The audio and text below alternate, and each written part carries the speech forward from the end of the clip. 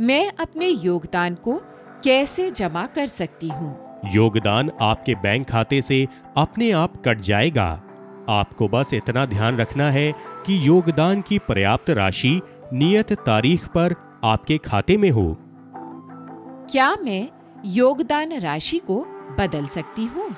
हाँ योगदान राशि साल में एक बार ही अप्रैल के महीने में बदली जा सकती है। अगर आप योगदान बढ़ाते हैं तो आपकी पेंशन राशि बढ़ जाएगी। इसी प्रकार अगर आप योगदान घटाते हैं तो आपकी पेंशन राशि कम हो जाएगी।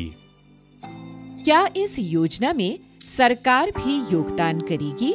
जो लोग इस योजना से 31 दिसंबर 2015 तक जुड़ गए हैं उनके लिए सरकार पहले पाँच साल यानी कि 2015-16 से 2019-20 तक सालाना एक हज़ार रुपए या सालाना योगदान का 50 प्रतिशत इनमें से जो भी कम हो योगदान देगी। मेरे द्वारा जमा की गई राशि का क्या होगा? इस योजना में जमा की गई राशि को P F R D A या सरकार द्वारा तय की गई शर्तों के अनुसार अलग अलग जगह निवेश किया जाएगा।